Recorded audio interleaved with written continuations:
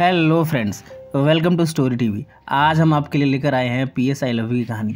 ये कहानी है हॉली और जेरी की। दोनों में बड़ा प्यार है, पर दोनों आपस में लड़ते भी रहते हैं। मैनहट्टन के इस फ्लैट में दोनों एक साथ रहते तो हैं, पर इन दोनों को पता नहीं कि आगे क्या होगा।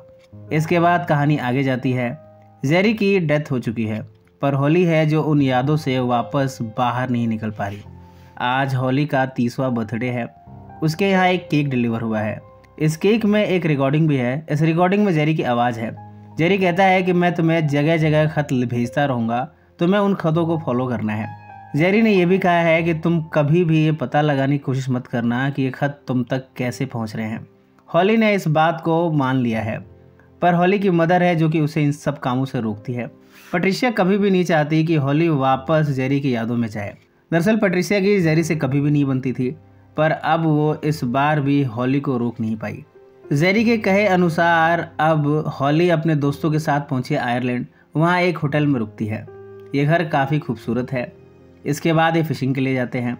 यहाँ फिशिंग करते हुए ये तीनों यहाँ फंस जाते हैं। दरअसल इनका ओर खो जाता है। यहाँ विलियम है जो कि इन्हें बचाने आता है। विलियम काफ़ी पहले जेरी के साथ उसके बैंड में शामिल था। वो यहाँ के पब में गाना गाता है। हॉली जब भी विलियम को देखती है, उससे जेरी की याद आ जाती है। इसीलिए तो उसने उसे इनवाइट कर लिया। इसके बाद ये इस होटल रूम में साथ में रुकते हैं। बातों बातों में दोनों आपस में संभोग कर बैठे।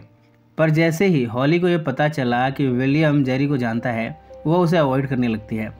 विलियम यहाँ बताता है कि वो किस तरह जेरी को काफ़ी पसंद करता था। दोनों में काफ़ी दोस्ती थी। यहाँ विलियम ने जेरी की कुछ और भी बातें बताई, जिसे सुनकर हॉली अब फिर से अपने आप को आकर्षित महसूस कर रही है। अगले दिन हॉली पहुँची है जेरी के घर। यहाँ उसे एक और ख़त मिला है। इस खत में लिखा है कि किस तरह हॉली और जेरी पहली बार मिले थे। ये मुलाकात भी कुछ अजीब थी। दरअसल हॉली यहाँ नेशनल पार्क विज़िट करने आई थी, पर वो रास्ता भटक गई थी। रास्ते में उसे जेरी मिला था। दोनों में बातचीत हुई और इसके बाद दोनों एक दूसरे से प्यार कर बैठे। इसके बाद ये प्यार शादी में बदल गया। हॉली अपनी छुट्टियाँ मनाकर वापस अपने घर आ गई है। यहाँ उसे एक और ख़त मिलता है। इस खत में जेरी ने मेंशन किया है कि क्यों ना हॉली अपने शू डिज़ाइन के पैशन को फॉलो करे। हॉली ने ऐसा किया भी, उसने एक क्लास में खुद को एनरोल कर लिया है। हॉली का पुराना दोस्त है डेनियल जो कि काफ़ी पहले से उसे पसंद करता है। डेनियल हॉली को साथ में डिनर करने के लिए इनवाइट करता है। दोनों यहाँ डिनर करने जाते हैं। डेनियल कहता है कि वो काफ़ी पहले से होली से प्यार करता है। होली डेनियल को एक्सेप्ट नहीं करना चाहती, पर गलती से वो डेनियल को जेरी कह बैठी। ये बात सुनकर डेनियल को अच्छा नहीं लगा और वो यहाँ से जा रहा है।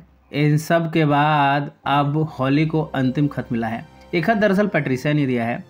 जब ये खत मिला है, तब होली के सामने ये इस बात का खुलासा हुआ है कि ये खत आखिर कौन उस तक पहुँचा रहा था। यहाँ पेट्रिसिया बताती है कि वो जेरी की अंतिम इच्छा को पूरा कर रही थी। दरअसल जेरी ने पट्रीसा से वादा लिया था कि वो सारे खतों को उस तक पहुंचाता रहेगा।